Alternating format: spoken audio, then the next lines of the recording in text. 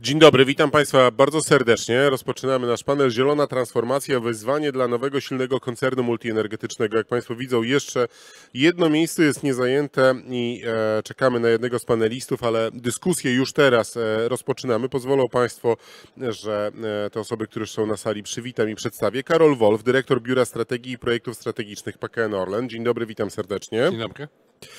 Artur Cieślik, wiceprezes zarządu do spraw strategii i regulacji PGNiG. Dzień dobry, witam serdecznie panie Dzień prezesie. dobry panie redaktorze, dzień dobry państwu.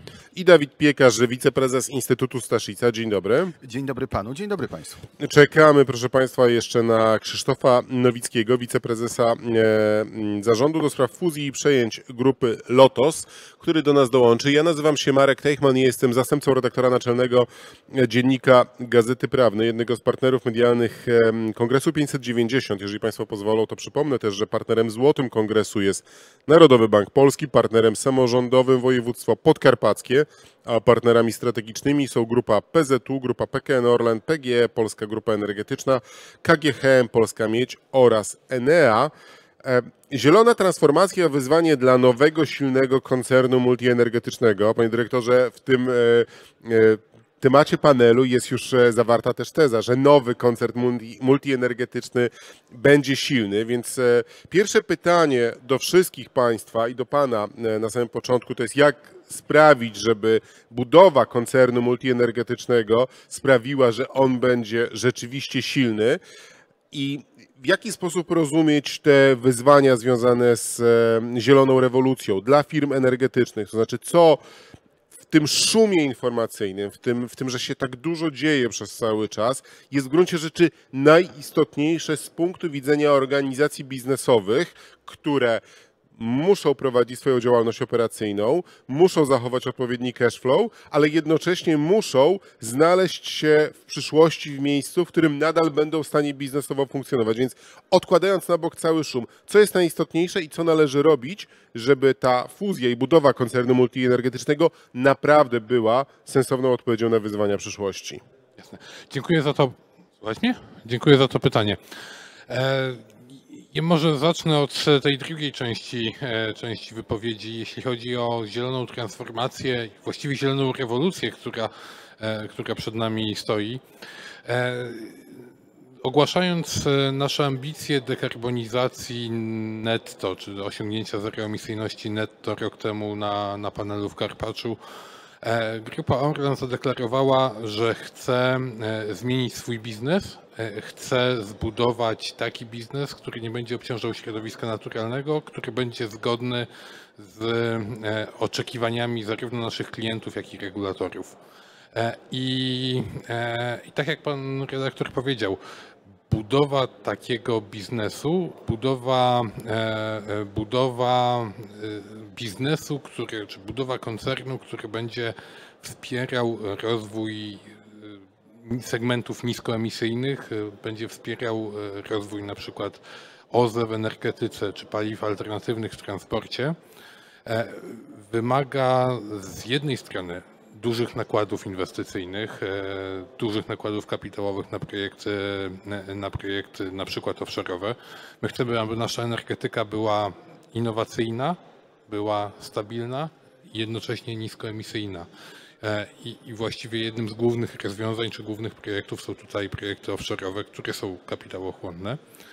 E, A z drugiej strony mówimy, e, mówimy, oprócz tego, że będziemy potrzebować kapitał, e, mówimy o potrzebie funkcjonowania w takich trochę dwóch równoległych światach. Bo o ile jesteśmy w stanie zdywersyfikować czy zdekarbonizować produkcję energii elektrycznej, to tempo zmian w systemie transportowym, czy tempo, te- tempo zmian w systemie, e, w systemie e, pojazdów, jakie się poruszają po naszych ulicach, jest nie do końca uzależnione od, e, od naszych decyzji, ale jest w dużej mierze uzależnione od decyzji naszych klientów. I przez to musimy przez pewien czas, zakładamy, że to będzie 10, 15, 20 lat, utrzymywać de facto dwa, e, dwa, systemy, dwa systemy energetyczne. Witamy prezesa Nowickiego. Dzień dobry panie prezesie. To nie, niekoniecznie ode mnie zależne. Krótko mówiłem. I, e, I to utrzymanie e, zarówno starego systemu opartego o węglowodory z paliwami płynnymi, jak i wejście w nowy system, gdzie, gdzie mówimy o energetyce, o energii elektrycznej, o energii z OZE, o paliwach alternatywnych, o wodorze, o biogazie, e, wymaga bardzo umiejętnego podejścia do, do zarządzania organizacją i umiejętnego podejścia do budowy kompetencji. I łącząc jakby te dwa elementy, czyli potrzebę budowy kapitału, zebrania kapitału e, i budowy kompetencji, e, wychodzimy na, na fuzję czy na połączenie grupy Orlen z grupą Lotos i, i. Zakładamy, że nowy podmiot będzie w stanie realizować duże inwestycje, będzie w stanie pozyskiwać nowe technologie i umiejętnie wdrażać je w w polskiej czy środkowoeuropejskiej gospodarce, e, a jednocześnie będzie w stanie e, poukładać nowe i dotychczasowe linie biznesowe tak, aby każda z części, czy każda, każda z firm, które, które do tej pory funkcjonowały osobno, zajmowały się tym, co są w stanie robić najlepiej, żeby budowały te kompetencje w ramach, w ramach poszczególnych centrów kompetencji, E, i żeby z jednej strony optymalizować e, funkcjonowanie dotychczasowych e, zakładów produkcyjnych czy dotychczasowych linii biznesowych. Mówię tu na przykład o optymalizacji cały czas produkcji rafineryjnej czy petrochemicznej, ale z drugiej strony, żeby były też miejsca, czy były też centra w ramach grupy, które będą rozwijać nowe obszary, biogaz, wodór, E, paliwa alternatywne, elektromobilność.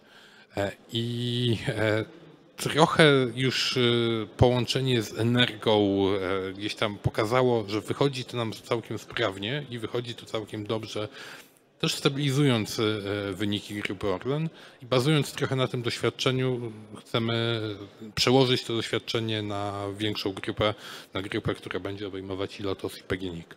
Czyli ja rozumiem, że jakby istotą tego dostosowania się do e, zielonej rewolucji poprzez proces budowy koncernu multienergetycznego jest po pierwsze zbudowanie takiego potencjału, który będzie w stanie pozyskiwać dużo i relatywnie tanio kapitał na konieczne inwestycje. Po drugie, taka fuzja automatycznie buduje dywersyfikację, pozwalając grupie dostosować się do zmieniającej rzeczywistości, a po trzecie, o czym Pan powiedział, mówiąc o tych centrach badawczych, centrach kompetencyjnych, pozwala skoncentrować wysiłki E, dostosowywania się w tych dawnych e, mm, centrach e, spółek, które będą wchodziły w skład koncernu multienergetycznego. Tak, Te trzy może, rzeczy. może pozwolę sobie na takie porównanie, które już stosowałem. Najpierw masa, a potem rzeźba.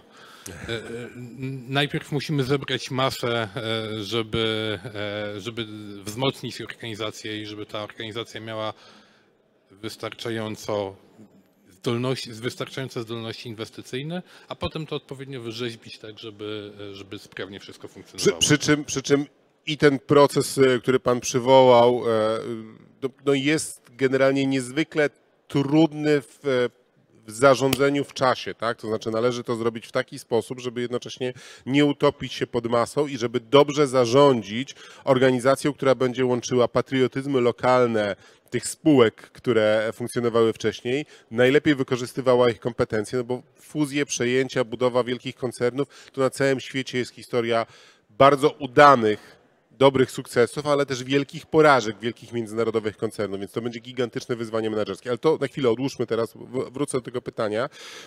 I, i Lotos, i PGNiG, w jakim sensie to samo pytanie, które, które zadałem e, do dyrektora Wolfa, teraz do panów, to znaczy, jak panowie definiują te najważniejsze wyzwanie związane z zieloną rewolucją, dla firm energetycznych, gdzie jest największy, największe wyzwanie i jak panowie rozumieją tą budowę koncernu multienergetycznego jako coś, co rzeczywiście by pozwalało się dostosować do tego, do tego wyzwania? Może prezes Cieślik najpierw, dobrze, a potem prezes Nowicki.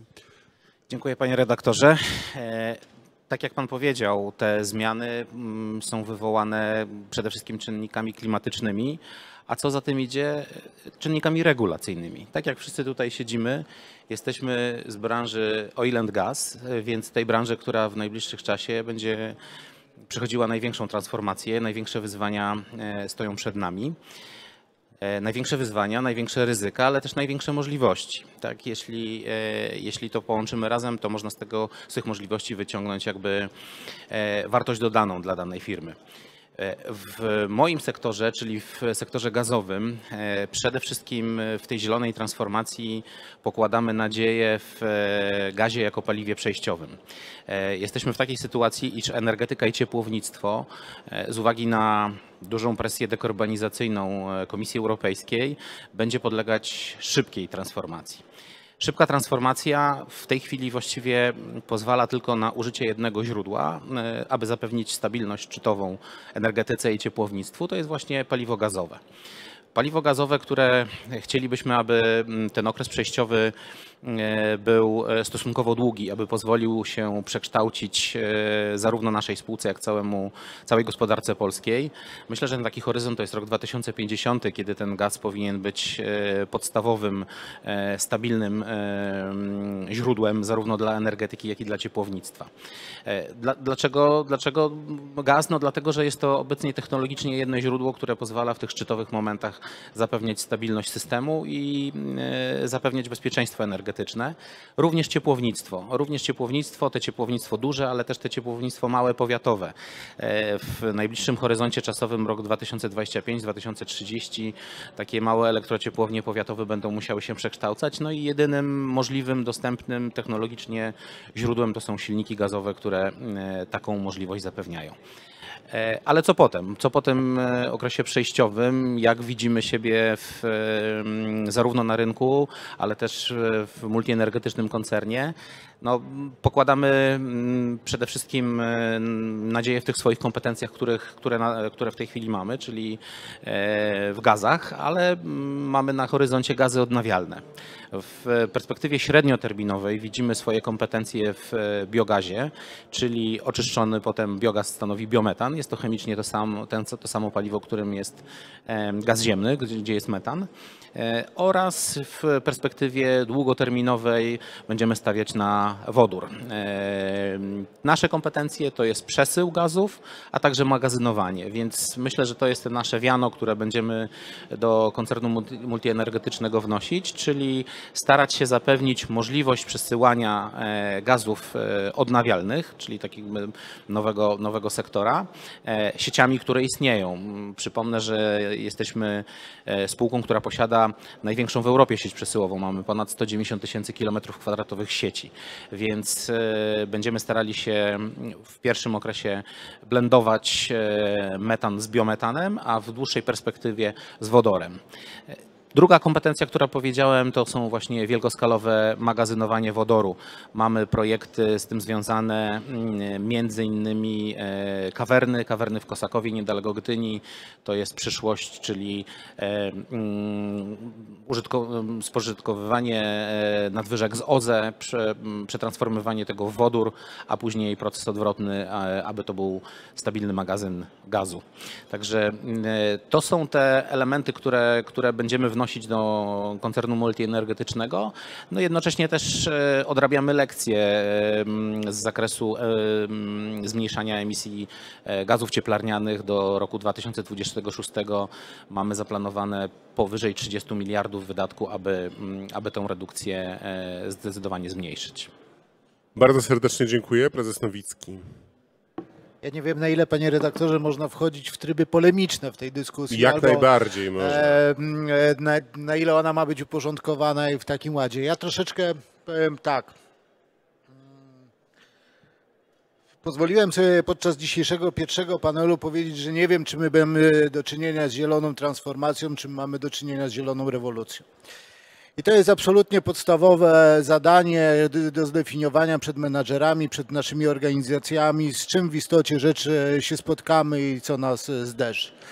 I teraz e, jak możemy to zrobić? Możemy to zrobić tylko w ten sposób, że bardzo bacznie na wszystkich możliwych frontach, na których uważamy, że mamy kompetencje, e, e, błyskawicznie działać, czasami rozdrabniając nasze, nasze środki, czasami rozdrabniając nasze zasoby. Zaraz oczywiście pozwolę sobie tutaj taką dygresję w tej chwili czynię, powiedzieć, że multienergetyczny koncern będzie to wykonywał, ponieważ jeżeli miałby to czynić Lotos, Orlen albo PGNiG osobno, to oczywiście nikomu, nikomu by ani na to nie starczyło zasobów najważniejszych, czyli ludzkich, ani nie starczyłoby zasobów finansowych, więc to jest możliwe tylko i wyłącznie do wykonania w multienergetycznym koncernie, ale ta generalnie rzecz biorąc kwestia obserwowania dynamiki rynku, dynamiki otoczenia gospodarczego, ale całego szeregu jeszcze innych czynników, które będą determinowały nasze działania, właśnie ma w najbliższym czasie pozwolić na zdefiniowanie, czy my jesteśmy w procesie rewolucyjnym czy ewolucyjnym. Ja pozwolę sobie tutaj ten element polemiki, my jesteśmy trochę zaprzyjaźnieni z Arturem, więc mam nadzieję, że się nie obrazi, ale powiedzieć, że ja nie widzę roli gazu w takiej przestrzeni czasowej, o jakiej ty mówisz, ponieważ uważam, że to zdecydowanie szybciej będzie odejście od kosztownego finalnie paliwa, bo gaz będzie dokładnie tak samo za chwilę potraktowany, jak jest dzisiaj traktowany węgiel. I to mamy tego świadomość wszyscy dokładnie, więc nie, nie będziemy budować żadnych wizji długoterminowych na czymś, co jest emisyjne, ponieważ ta rewolucja w istocie rzeczy dotknie gaz. Ona dzisiaj dotyka węgiel i wszyscy myślimy sobie, a dobrze, to przeskoczymy na gaz, to będzie paliwo. Nie, to dokładnie za chwilę dotknie gazu i ta siła cała zostanie skoncentrowana na gazie. Więc e, powiedziałbym tak, będziemy e, budujemy multienergetyczny koncern, który ma stanowić odpowiedź na wyzwania rewolucyjne, jak zakładam, dla rynku energii, e, e, dla tej zielonej w cudzysłowie transformacji, tylko tak naprawdę w gonitwie do tego, żebyśmy uratowali klimat. I tam będzie cały szereg czynników, który będzie dla nas wyzwaniami. Bo poza tym, że my będziemy zeroemisyjni, to fantastycznie, tylko jeszcze bądźmy w tej zeroemisyjności w ogóle konkurencyjni dla kogokolwiek. To jest, to jest absolutnie podstawowa historia. Jak zareaguje świat na naszą zeroemisyjność, nie? Bo my możemy produkować najlepsze produkty na świecie, najbardziej zeroemisyjne i kompletnie niesprzedawalne. Więc to jest, e, to będzie bardzo ważne, jak świat nas będzie otaczał. Po drugie, Musimy spojrzeć na to i, i to są czynniki, które trudno jest menadżerom przewidzieć. Może trochę łatwiej nam menadżerom, który jesteśmy, mamy wykształcenie prawnicze, e, ponieważ jeszcze jest coś takiego jak otoczenie. ym, ja to pozwolę sobie nazwać do, dużej ilości orzeczeń sądowych, które w, się pojawiają w naszej przestrzeni, a które e, nie odnoszą się w ogóle do zdarzeń gospodarczych, które, którymi jesteśmy stronami. Nie wiem, przykład to jest e, kazus tego słynnego wyroku Shella, który dotyka e, organizacji, która nie jest stroną żadnej umowy. Tak? I sąd raptem orzeka, mówi, jesteście odpowiedzialni za to, że zbyt wolno redukujecie określone swoje działalności, które uważamy za ten szkodliwe. i holenderski tym- wyrok, tak? tak, tak, i, i, i tym, ale tych orzeczeń jest kilka. I teraz na to wszystko nakładając jeszcze dodatkowe czynniki, bo warto na to spojrzeć. No proszę Państwa, my funkcjonujemy w e, szalenie dynamicznym otoczeniu. 9 września bieżącego roku i orzeczenie mówiące o tym, że system uszczelniający e, podatki w obszarze paliwowym jest systemem niezgodnym z prawem europejskim. Tak? Więc po pierwsze, to bym powiedział dzisiaj na tym panelu, dążmy do tego, żeby koncern powstał. To jest naprawdę wyzwanie ponad wszystkimi wyzwaniami. Dążmy do tego. Nie pan, nie ja się cieszę, że my się zastanawiamy, co będzie za lat 30, bo musimy się nad tym zastanawiać i tego wymaga nasza odpowiedzialność. Ale to będzie pewna grupa osób, które e, dajmy im w ogóle szansę. Dzisiaj wypełnijmy kupon mówiący o tym, że dajemy wam szansę nad tym, żebyście się rzeczywiście mieli nad czym zastanawiać. Nie? A dzisiaj menadżerowie mają powiedzieć tak, my powinniśmy dążyć do tego, żeby wszystkimi dozwolonymi środkami doprowadzić do sytuacji po pierwsze powstania multienergetycznego koncernu, po drugie żeby ten koncern był zdolny do odpowiedzi na wyzwania zakładam, bardziej rewolucyjne niż ewolucyjne. Po trzecie, przełamania metodologii myślenia polegającej na tym, że coś jest alternatywne wobec tego, co my mamy dzisiaj, bo nie ma niczego alternatywnego. To są paliwa, to jest technologia, która funkcjonuje obok nas i to, o czym powiedział Karol tutaj ponad wszystko sukcesem będzie naczelnym zdolność do zbudowania jednej spójnej organizacji, która będzie miała tą samą kulturę, która będzie szanowała swoje centra kompetencyjne, która tak jak tutaj Artur e, niesamowicie prezes Cieślik, przepraszam, znamy się, tak pozwoliłem sobie powiedzieć do Ciebie, ale to dlatego, żebyś za ten konserwatyzm, prawda, mnie tutaj, e, czy, czy tą postawę, postawę e, konfrontacyjną, za chwilę Zaraz nie odpowiem, ten, zaraz odpowiem. e, ale e, żebyśmy uszanowali te swoje centra kompetencyjne i te wartości, które mamy w ludziach przede wszystkim. To, to ja tak bym po- odpowiedział na to pytanie, pewno nie odpowiadając w ogóle na pytanie. Dziękuję. Panie prezesie? Ja jedno tylko słowo właśnie w polemice z Krzysztofem. To prawda, e, zachód Europy to jest rewolucja, a my byśmy chcieli przekonać, że w Polsce w zakresie transformacji jest potrzebna ewolucja, a nie rewolucja. Wynika to z tego, iż e, historycznie mamy takie uwarunkowania, a nie inne. E, Europa Zachodnia może sobie pozwolić na rewolucję w transformacji energetycznej i jakby zeroemisyjnej, między innymi dlatego, iż po, po pierwsze mają szerszy zakres OZE, mają atom. U nas nie mamy tych źródeł w takim e, zakresie, które mogłyby nam pozwalać na to bezpieczeństwo energetyczne, dlatego staramy się jako spółka mm, przekonać, e, mm, e, biorąc udział w konsultacjach w Komisji Europejskiej, w Parlamencie Europejskim, że w Polsce raczej powinna jest, powinniśmy iść w kierunku ewolucji, czyli ten gaz troszeczkę dłużej pozwolić użytkować, co zresztą pokazują, mm, pokazują prognozy. W Polsce w tej chwili zużywamy około 20 miliardów metrów sześciennych gazu rocznie. W perspektywie lat 10 będziemy zużywać 30. W Europie Zachodniej ten trend jest odwrotny. W Aż ciągu... tak nie polemizowałem z tobą, zabieramy innym czas, ale e, ja, tylko ostatnie zdanie. Oddaję już prowadzenie panelu panu redaktorowi oczywiście, natomiast ja pamiętam, e, zaczynałem swoją pracę de facto zawodową, co prawda jako prawnik, ale w Turowie. W Turowie, który dzisiaj jest e, synonimem tego e, w całym otoczeniu gospodarczym, jak rewolucja potrafi być błyskawiczna. On jest naprawdę dobrze przygotowany, jak się lepiej zastanowić, z nowym blokiem, który jest przygotowany do wyłapywania CCS-u e, czyli do, e, z technologią CCS do wyłapywania dwutlenku węgla. Warto jest się zastanowić, w jakim to tempie poszło. Dziękuję. No właśnie, i to jest e, tutaj jeszcze gdzieś w tle mamy to, co się dzieje też teraz rynkowo, tak? Znaczy to, co się dzieje, jeżeli chodzi o ceny energii, jeżeli, się, jeżeli chodzi o ceny gazu i jeżeli chodzi o otoczenie regulacyjne, które, które stale przyspiesza. Bo, bo my mówiliśmy o tych decyzjach e, na poziomie sądowym e, w stosunku do koncernów, ale to, co jest też bardzo istotnym trendem, to jest orzecznictwo TSUE dotyczące ochrony konsumentów, e, rozszerzającej się, jak gdyby w związku z tym rozszerzających się kompetencji, które też prawdopodobnie, rozszerzających się kompetencji Trybunału Sprawiedliwości, które też prawdopodobnie będzie, będą wpływały na nasze otoczenie regulacyjne, na to, co firmy energetyczne będą mogły, do czego będą zmuszane. I to wszystko prowadzi do pytania, czy my w ogóle jesteśmy, do Dawida Piekarza to pytanie, czy my jesteśmy w ogóle w stanie narysować obraz tej rzeczywistości, w której ten koncert multienergetyczny będzie? Bo my tutaj mówimy o, o, o różnych perspektywach czasowych, mówimy o tym, jak ta gospodarka może wyglądać, ale my tego tak naprawdę nie wiemy.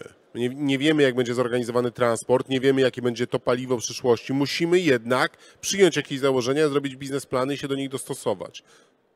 Nie wiemy tego tak naprawdę z właściwie jednego powodu. To znaczy, rok temu zobaczyliśmy Europejski Zielony Ład i mniej więcej wiedzieliśmy, jak on będzie wyglądał. Natomiast w tym roku zobaczyliśmy Fit for 55, który tak naprawdę wysadził ten europejski, znaczy, może nie tyle go wysadził w powietrze, co dodał mu taki silnik odrzutowy, który niesie nas gdzieś w nieznane i trochę nie wiemy, jak świat będzie po tym wyglądał.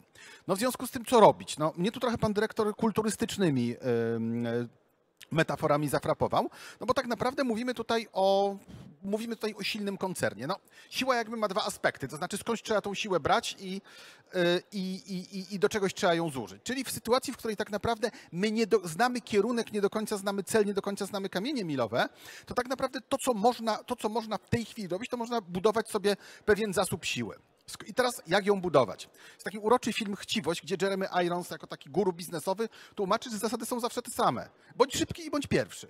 Więc to jest, trochę, to jest to, trochę to, o czym mówił pan prezes, czyli tak naprawdę mamy rewolucję i w tej sytuacji tak naprawdę no nie tyle trzeba się wlec w ogonie zmian i próbować, że tak powiem, gonić peleton, No tak, ale, ale będąc pierwszym, płaci się z drugiej strony cenę za, za, za, za dochodzenie tam i podjęcie Powiem- decyzji, że być może tam należy. Ale bez ryzyka nie ma biznesu. Już dzisiaj, Trochę nie? tak, ale trochę tak, ale zwróćmy uwagę, że tego chciano absolutnie uniknąć w przypadku górnictwa. I nie mówię tutaj tylko o Turowie, tylko właśnie powiedziałbym, cały case z górnictwem polegał na tym, że no jakoś to będzie. Próbujmy ten lot taki spadający jak najdłużej przedłużać. No i wygląda na to, że w tej chwili ten lot zaczął się zaczął się nam, prawda, obniżać za to jest bardzo. optymistyczne pojęcie, że mamy lot jeszcze, tak? O właśnie. Natomiast drugi element, o którym chciałem wspomnieć, to jest też kwestia tego, że jeżeli jest jakiś proces, to warto ten proces w jak największym stopniu próbować kontrolować i sobie na niego wpływać. Czyli mówiąc prosto, jeżeli jest jakaś rewolucja technologiczna, regulacyjna, to warto mniej więcej być w takim punkcie, w którym my nie jesteśmy tylko przedmiotem, ale też podmiotem. I to jest trochę sytuacja, w której, em, która... I żeby być podmiotowy, trzeba być dużym, tak? To żeby być, trochę... pod, żeby, nie, żeby być podmiotowym, wielo- trzeba, być, trzeba być, żeby być podmiotowym trzeba, mieć, trzeba być silnym, natomiast żeby być podmiotowym trzeba stać w miejscu, w którym możemy ten proces kontrolować. To jest trochę taka metafora jak z gorączką złota w Stanach Zjednoczonych. Tam wtedy najwięcej nie zarobili, nie zarobili ci poszukiwacze, którzy z reguły wracali goli tak jak przyjeżdżali, chyba że mieli kupę szczęścia. Fortuny zbili dos- ci producenci wiader, kilofów, sit i tak dalej. I tu trochę bym na to patrzył właśnie w ten sposób, bo mówimy tak, bo Orlen proszę zwrócić uwagę w jakiej jest sytuacji. Tak naprawdę nie, nie jest eksponowany tylko i wyłącznie na konsumenta finalnego. Jest powiedziałbym trochę, y, jest będzie w dużej mierze dostawcą energii dla innych podmiotów energetycznych. Ja z racji jakby swojej, swojej aktywności mam ostatnio dużo rozmów z prezesami małych, lokalnych elektrociepłowni i oni mówią jedno. Dajcie nam ten wodór, dajcie nam ten biogaz. Ja w tej chwili podpiszę umowę na 20-30 lat, tylko po prostu powiedzcie nam, że on będzie. I każdą ilość upchniemy. No i to jest też kwestia tego, że w, że, że w tej sytuacji, w momencie, w którym jest się nie tylko, można powiedzieć, wykonawcą, ale też swego rodzaju operatorem procesu, e, operatorem procesu rewolucji, tak to, panie prezesie, tak, tak, tak, pana, tak pana, że tak powiem, troszeczkę Ale podsumuję. nie, ale nie twórcą i tworzywem. Raczej, Czy, czy, czy jednak też? e, powiedział, myślę, że słowo operator tutaj bardziej mi, bardziej mi że gdzieś tam oddaje to, wszystkim co o chcę żeby powiedzieć. Móc zarządzać tym procesem. Żeby móc nim zarządzać- zarządzać czy raczej zarządzać miejscem, w którym się jest. Zarządzać miejscem, w którym się jest i też, że tak powiem, właśnie, już też w tym momencie, że tak powiem, umieć na tym zarabiać, czerpać jakby zasoby, No- które no możemy właśnie. obrócić na dalszą, obrócić na dalszą, na dalszą, na dalsze działania, na dalszą zmianę. A, a gdzie się będzie zarabiać najbliższym czasie i w przyszłości? Ale to już widać, gdzie się w tej chwili zarabia. To znaczy, jeżeli patrzymy sobie na raport roczny, na przykład Orlenu, no to co tam zarabia? Zarabia energia elektryczna, zarabia petrochemia, zarabia detal, ale nie na marży paliwowej, tylko na całym tym, na całym tym otoczeniu, co nie zarabia, nie zarabia. I pe- pe- petrochemia też w coraz większym stopniu może zarabiać tak naprawdę na wszystkich rzeczach pozapaliwowych. Dokładnie. Nie zarabia rafineria, więc to jest element, mówiąc prosto, tego, że, że jeżeli, jeżeli za chwilę się zacznie wodór, jeżeli za chwilę zacznie, zacznie biogaz, no to zaczną płynąć kolejne, kolejne strumienie przychodu, które, które będą tutaj, powiedziałbym, niosły ten projekt. Więc to jest bardziej kwestia tego, żeby A, stać w miejscu, w którym kontrolujemy, B, stać w miejscu, gdzie jednak ten, to, złoto nam, to złoto nam do ręki kapie, a nie tylko je wydajemy. Panie dyrektorze? To jest też tak, że my, jakby nawiązując do tej rewolucji, my wiemy mniej więcej, co się będzie działo, nie wiem, przez najbliższe 10-15 lat, ale mamy jeszcze perspektywę 20-30, 20-50, 20-35, 20-50. Wtedy się będą rozwijać technologie, które w tym momencie albo są jakoś w, w początkowej fazie, albo jeszcze nie rozwinięte. Nie wiem, mówię tu o CCS-ie, który, który pewnie będzie, e, będzie coraz e, mocniej potrzebny, czy coraz silniej potrzebny w naszej gospodarce. Mówię tutaj na przykład o małych modułowych reaktorach e, jądrowych, które też w tej perspektywie po 2030 będą zapewne wdrażalne. I, I tutaj właśnie ta koordynacja, czy ta, ta współpraca powinna umożliwić nam zajęcie się tymi wszystkimi tematami. My nie wiemy, które tematy po tym 2030 będą, e, będą najbardziej obiecujące. Wierzymy, że musimy inwestować w portfolio linii biznesowych, a to musimy robić w skoordynowany sposób. W, te, w tym wszystkim jest jeszcze jeden wątek, bo nawet jeżeli by powstał tak silny koncern multienergetyczny, to on będzie średniakiem w skali europejskiej. Jakby, I będzie musiał brać udział w wyścigu z tymi, którzy do tych potencjalnych koszyków przyszłości będą w stanie włożyć zdecydowanie więcej środków, prawda? I ale to pan redaktor mnie teraz prowokuje wzrokiem do tego, żebyśmy podyskutowali, dlaczego ta decyzja nie została podjęta dużo wcześniej, tak? No to może byśmy byli na innym e, etapie, ale teraz e, e, wyobraźmy sobie sytuację, że nie doprowadzimy do sytuacji powstania go teraz, to, nie, to, nie to spowodujemy, że on już nie powstanie nigdy. To znaczy czasami lepiej być średniakiem z perspektywami i mieć szansę rozwoju, niż te szanse rozwoju zagrzebać, po prostu dokumentnie, tak? Więc nawet jeżeli będziemy średniakami na początku, to z perspektywą rzeczywistą rozwoju. Zresztą ten proces, o którym mówimy, proces e, konsolidacji, no nie ukrywajmy, on, on ma szerokie tło, to znaczy silny, tworzymy silny podmiot, który ma oddziaływać na 100 milionów e, mieszkańców Europy. Tak jest to e, szacowane. To ma być na początku 200 e, miliardów złotych przychodów, e, 20 miliardów EBITDA. To to na, na, n- y, y, zrealizujmy to, żeby to tak wyglądało, nie? To, to już będzie, początek będzie zupełnie przyzwoity. A po- powiedzcie mi panowie, przepraszam, że ja tak do, do pieniędzy dążę, ale gdzie będą pieniądze przede wszystkim w tych różnych perspektywach czasowych? Jak ja będę oglądał raporty, coraz bardziej skonsolidowane i będę oglądał raport, to na co powinienem patrzeć w perspektywie tego, gdzie będziecie zarabiali jako koncern multienergetyczny głównie za 2-5 lat, a gdzie za 10-15? Znaczy, gdzie się będzie przesuwał ten strumień pieniędzy i co należy robić, żeby na tym strumieniu jednocześnie zarabiać, tak? Bo generalnie przychody można mieć, ale, ale, ale to niekoniecznie... Mam nadzieję, że żaden z nas nie odpowie i nie zdradzimy naszych przewag konkurencyjnych. E, To po pierwsze, ale mam nadzieję ponad wszystko, że sytuacja będzie wyglądała w ten sposób, że jak pan redaktor będzie i oby, oby pan faktycznie na to patrzył, to będziemy mieli taką sytuację, w której w istocie rzeczy w sposób e, spójny wewnątrz naszej organizacji będziemy transformować tą organizację do tego, żeby ona zarabiała w tych przestrzeniach, które będą przestrzeniami nie alternatywnymi, tylko e, przestrzeniami przyszłości. Gdzieś tam w hasłach możemy, oczywiście mówimy wszyscy, energetyka, e, wszyscy posługujemy się zagadnieniem petrochemii, ale ta dynamika udostępnienia procesów technologii, e, Karol tu wymienił chyba większość z takich, które, które prostym jednym tchem wymieniamy. E, mm, Energetyka jądrowa. Dzisiaj znaczy, całe spektrum możliwości jest otwarte. Tak? W co finalnie zainwestujemy? Zainwestujemy w to, e, w co pozwoli nam ilość środków finansowych, którymi będziemy dysponowali po połączeniu. Jak będziemy mieli, jakich będziemy mieli partnerów w tym biznesie, bo przecież proces tworzenia multienergetycznego koncernu to jest też znalezienie partnera, to jest rozwój.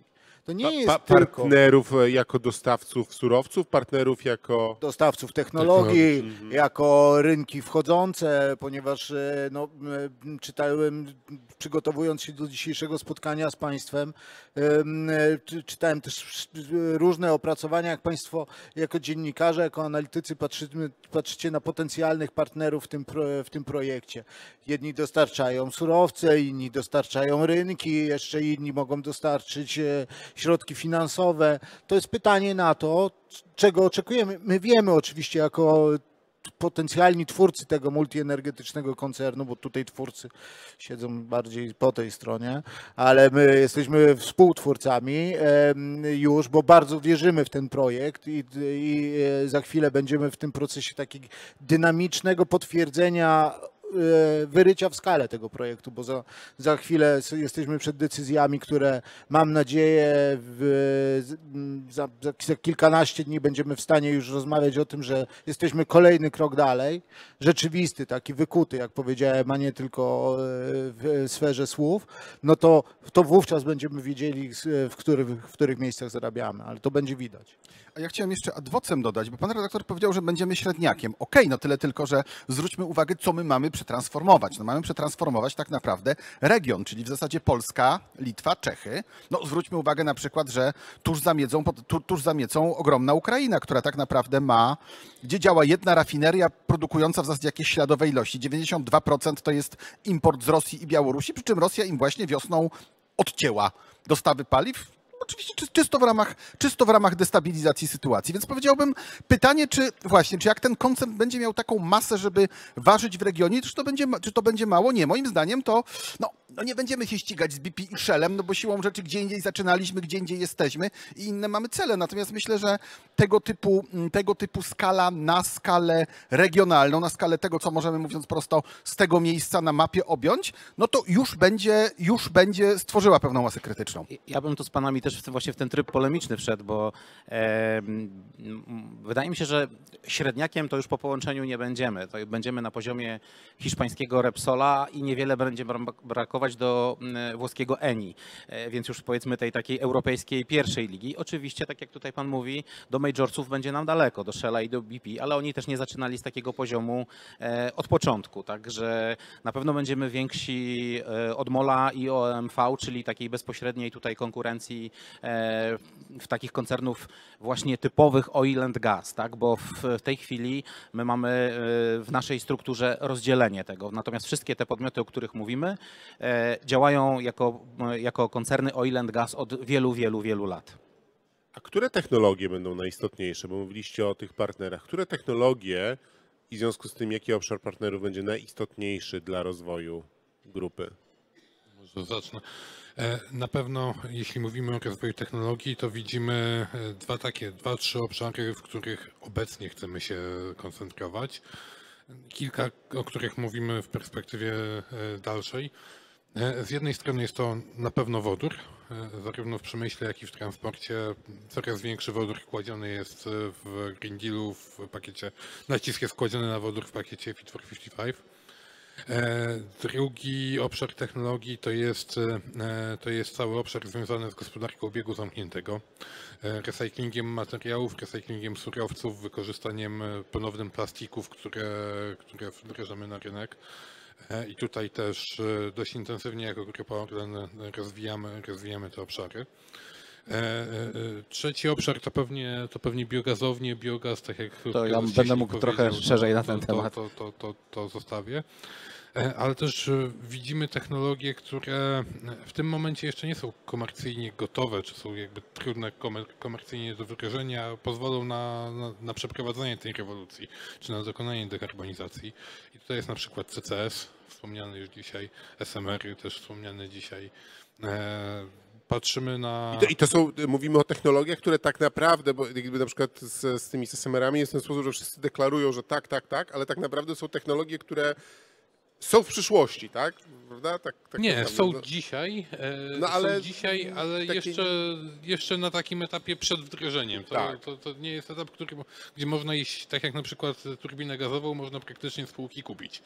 E, elektrowni SMR-owej spółki jeszcze nie kupisz, ale zakładamy, że po 20, po 20 30, czy, czy, czy chcemy, żeby to było, żeby to im szybciej, tym, tym lepiej, ale, ale chcemy, żeby z jednej strony, żeby te technologie wdrażać, ale z drugiej strony też, żeby, żeby je samemu rozwijać, bo, bo w tym też widzimy wartość, że e, zaangażowanie się w rozwój wybranych technologii taką grupą, o jakiej mówimy, też wzmocni naszą obecność i pozwoli na, pozwoli na, e, na lepsze konkurowanie na, na, na europejskich rynkach. Dramatycznie czuję się urażony. E, tym, że mm, e, generalnie dyskutujemy wszyscy wokół emisji związanej z e, dwutlenkiem węgla. Ja rozumiem, że to jest szalenie modne.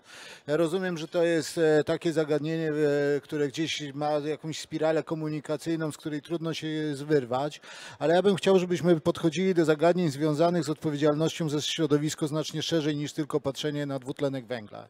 I teraz grupa, przyszły multienergetyczny koncern, ja mogę oczywiście powiedzieć dzisiaj grupa Grupa Lotos realizuje projekty, czy e, wchodzi w technologie, które dla środowiska nie są obojętne, przeciwnie, są dla środowiska absolutnie mm, e, e, przyjazne na przyszłość. Kwestia produktów z ropy naftowej, które zawierają zdecydowanie mniejszą ilość siarki. Dlaczego o tym e, nie ma ani fragmentu dyskusji? Dlaczego nie ma fragmentu dyskusji między nami o tym, że powstaje, podjęta została decyzja o hydrokrakingu, budowie hydrokrakingowego bloku olejowego i drugie na świecie miejsce, w którym powstanie Brajsztok Grupy Drugiej? Dlaczego nie dyskutujemy o tym, jak będzie wyglądało paliwo morskie? To są zagadnienia. My e, dostaliśmy wszyscy takiego e, trochę zawężenia horyzontów, przepraszam. My, wydaje mi się, wszyscy mówią tak naprawdę tylko o emisjach, tak? E, wydaje mi się, że multienergetyczny koncern będzie skoncentrowany na wszystkich zagadnieniach związanych z maksymalnie korzystnym przerobem ropy naftowej. Ropa naftowa, szanowni państwo, to nie są tylko paliwa. To są od skrajnie idąc, żeby narysować drugi, drugi element taki przemawiający do wyobraźni, to są lekarstwa. To, jest, e, to, to, to, to nie jest coś, co nas generalnie w życiu obarcza i powoduje, że my nie jesteśmy w stanie przez to funkcjonować. Tak? Nie poszukujmy odejścia od, poszukujmy rozwiązań, które spowodują, że w sposób maksymalnie korzystny dla naszego otoczenia będziemy z tego dobrodziejstwa korzystać, bo to jest wartość. I teraz nie koncentrujmy się tylko na za- zagadnieniach emisyjnych, ale koncentrujmy się na tym wszystkim, co dzięki temu tym produktom robimy. I jak pyta pan redaktor nas, gdzie będziemy zarabiać, będziemy zarabiać tam, wszędzie, gdzie nasza odpowiedzialna gospodarka odpowiedzialnie i dobre, nowoczesne technologie, w oparciu o które będziemy funkcjonować, będziemy wykorzystywać produkty, które, na których funkcjonujemy. Ja wierzę w to święcie, jestem przekonany, że przyjdzie czas, że powstaną technologie, które pozwolą wykorzystać węgiel. Jestem święcie przekonany, że Na nie- skalę przemysłową? na skalę przemysłową, że to jest tylko kwestia przyszłości. Że to jest dokładnie kwestia przyszłości. One na skalę laboratoryjną są dzisiaj e, robione, ale na skalę przemysłową również będą robione. Dlaczego? Dlatego, że my będziemy, dzisiaj zapominamy trochę w dobie kryzysu o tym, że istnieje coś takiego jak wolna ręka rynku, niewidzialna ręka rynku, ale ona istnieje i ona będzie istniała. I Artur. ten węgiel też będzie dla nas kiedyś istotny. Artur Cieślik. To, to jest ten element, który Karol mi zostawił, czyli e, biogaz, biometan. Myślę, że to jest też rynek, który jest rynkiem przyszłości. To jest tak naprawdę nowy sektor OZE. Tak, bo w tej chwili, jeśli mówimy o OZE, to mówimy o offshore, onshore i fotowoltaice. Ten sektor jest jeszcze nieuregulowany. Czekamy na e, regulacje. W najbliższym czasie Ministerstwo Klimatu i Środowiska ma przeprowadzić konsultacje, konsultacje publiczne w tym zakresie. Jeśli będziemy mieć regulacje, będziemy może, mogli wdrażać wtedy biznesplan, czyli ktoś, kto będzie inwestował w biogazownię, będzie wiedział, jaką ma cenę i w jakiej perspektywie czasowej, aby ten zwrot z tej inwestycji miał. E, To jest potrzebne zarówno PGNiG-owi do zazielenienia sieci, jak również Orlenowi, dlatego też mamy wspólne przedsięwzięcie, na którym czekamy na decyzję UOKiK-u w tej sprawie. I puenta od Dawida Wiele mi panowie nie zostawili, natomiast to jest też kwestia, powiedziałbym, e, budowania pewnego modelu biznesowego, bo mam wrażenie, że jednak inaczej inny będzie klient i inaczej będziemy do tego finalnego odbiorcy, użytkownika tej energii w taki czy inny sposób docierać. Na przykład być może kwestia tego, że inaczej będziemy się poruszać, inaczej będziemy korzystać z samochodów, ze środków transportu indywidualnego. To też będzie kwestia, która będzie stanowiła absolutne wyzwanie także dla tego typu podmiotów, ale też nowe możliwości biznesowe. Więc to jest też element, który my trochę tak zapatrzeni w te emisje i w te redukcje nie widzimy, ale może się okazać, że na tym poziomie mikro też to, co nam to, co nam się z jednej strony furtka przymyka, to nam się z drugiej strony będzie otwierać. I niech to będzie puenta. Dawid Piekarz, Artur Cieślik, Krzysztof Nowicki i Karol Wolf. Dziękuję serdecznie panowie za udział w panelu dyskusyjnym. Dziękuję państwu.